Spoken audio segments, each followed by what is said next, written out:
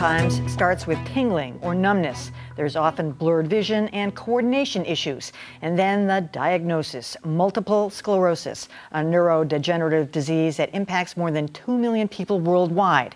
And the best doctors can, and all the best doctors can do is prescribe drugs to help manage its symptoms and slow its progression. Some of the biggest names in biomedical research are competing to develop better treatments, including Genzyme, Novartis, and Biogen IDEC, all in Kendall Square. And this week, many of them are attending MS Boston 2014, a global conference to showcase the latest advancements. My next guest is hoping a breakthrough isn't far off. Gigi Ranno was diagnosed with MS in 1998 and has not found an effective drug or treatment plan. We're also joined by Francisco Quintana. He's a researcher at Brigham and Women's Center for Neurologic Diseases.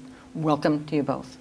Thank you. So, for people who aren't familiar with this, Gigi, just tell us how, what happened to you? How did you start feeling when, before the diagnosis? I was, um, I was dancing on a Saturday night, which I loved to do. I was 26. Um, I was at a club. I was shimmying down, and I didn't. I wasn't drinking that night, and I don't take drugs. And I felt a tingling down my spinal column, and I knew that that was not right. I was. I'm very athletic. And so I knew that didn't feel right. So I went to the doctors, and they suggested I went to a um, physical therapist. And so I did all the physical therapy, and it still didn't fix anything. Mm.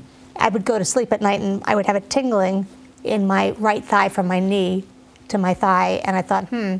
And then they called me back and said, How are you doing? And I thought, Oh, isn't that sweet? And I said, Well, it's still there. And they said, Well, why don't you go to a neurologist? Which I did. And I went through a couple of tests, including an evoked stimulus response. I don't even remember what they all were, but they were negative. And then um, my neurologist said, Well, if we give you a lumbar puncture, you know, that will be next. And I said, Really? Will that tell you how to fix whatever I have? And she said, No, but it will tell us if you have it. And I had heard some things about lumbar mm. punctures, and I said, No, that's okay. And so then she said, Okay, I'll do an MRI and that's when they found the lesions. But I thought I missed a meeting because when I went to her next, she said, Hey, good news, you don't have brain tumor. Oh. And I didn't know that was an option. But did she tell you then that you had MS? I did. She said, I have the disease, so, it's MS. I'd never heard of it before. Really? Of course, wow. I burst, in, burst into young. tears. Yeah. It was actually 89. Oh, so you were young. And uh, 26. So, and I just want to ask Fran, so what is this exactly? We have a couple of uh, pictures of nerves, a, a, damaged one and a, a, good one. What is happening? So it's uh, a disorder Gigi? where the immune system, instead of fighting off pathogens and microbes, starts to attack the central nervous system. And that results in, in neurological symptoms like the ones associated mm-hmm like, like the ones you were describing. So it's breaking down this myelin exactly. Right so what happens is the immune system specifically attacks the myelin that wraps the axons, and the axons are very important parts of neurons needed for us to perform all the functions we perform. So when that, when those axons are uh, attacked by the immune system, then you start to have mm-hmm. these neurological symptoms. Well, now, did you? I'm sure you know many people in the MS community. I mean, Ann Romney says she's been improved by certain therapies and maybe certain drugs, but nothing has really worked for you. No, I tried. Um, you know, the injectables w- initially. Mm. The very first drug, um, it wasn't sure that it would work. Now, of course when you get diagnosed, it's so important to get out of therapy right away to stop the progression. Mm. But when I was, uh, you know, in '89, they were like, "Well, you could, you couldn't," and I thought, "Well, I don't want to take a shot every day," so I didn't. Mm. And I was still playing racquetball and golf really? and tennis and running and work. Yeah, working 65 hours a week. I was 26, um, and then all of a sudden, I started walking like I was drunk, mm-hmm. hugging walls. It was slowing down using a cane, um, which I could only kick when I went on oral steroids. Um, anyway, until finally I took Copaxone, which was a, a, daily subcutaneous for at least 10 years, which was fine. But then I broke through that. Finally, my neurologist suggested I go on Cellcept, which is a oral medication that people don't take usually unless they've had an organ transplant, mm. just to stop the progression. Wow.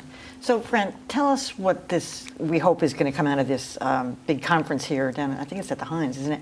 Um, there's going to be a, $30 million award granted to maybe you, researchers, um, to do what? I think because what we are facing now is probably what's the next challenge in multiple sclerosis.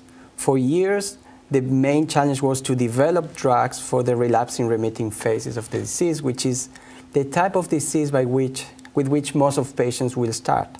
However, eventually, many patients will turn into the, what we call secondary progressive MS, where the protective effects, the beneficial effects of these drugs are not that strong. And that's actually what is reflecting is that the disease probably or the mechanisms driving the disease are changing. So what we need to do now, the biggest challenge now in multiple sclerosis is to identify what is going wrong in this progressive stage of mm. the disease.